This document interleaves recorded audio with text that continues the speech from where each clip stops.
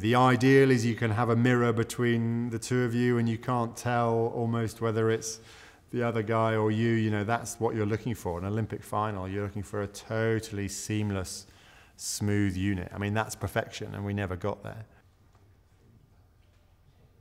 I think I'm quite difficult to live with because I think I'm I'm quite goal orientated and you know that doesn't often translate into family life. Um, you know, with children, you got, you got to be more flexible than that. Sport gives you that structure. Sport gives you that, you know, I want to be there. I, I want to beat that person, or I want to win that event, or I want to be in the middle of that podium. It's, it's, it's very straightforward. And ultimately, because it's sport, it's great if it works out. If you win a gold medal, it all makes sense.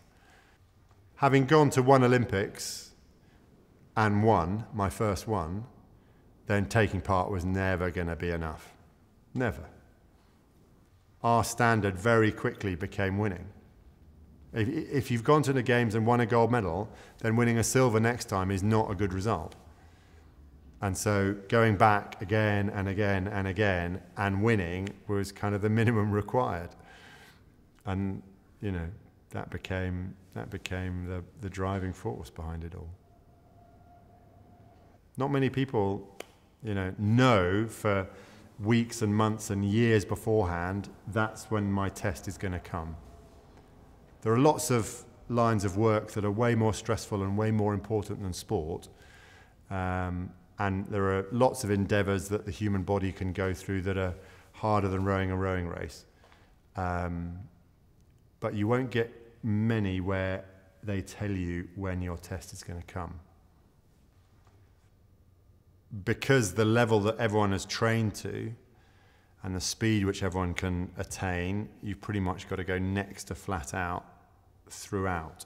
Um, the, the important bit is if your flat out is here, you know, where's your pace behind it? But essentially, anything up at that 98, 99% of what you can do at sprint is going to hurt a lot. And so, it, you, even though you're breathing in and out as fast as you can breathe in and out, your body just isn't able to catch up. So it, it produces lactic acid, which then hurts, and that starts at 30 seconds into a six minute race and gets worse and worse and worse. So as you, as you go down the course, you're, you're having to deal with that growing intensity of pain um, for that full six minutes. And you know that if you ever give in to it, you'll lose because somebody else in that race won't give in to it. Um, there's the old cliche in sport about who wants it more. In a rowing race, it's how much pain can you take, usually.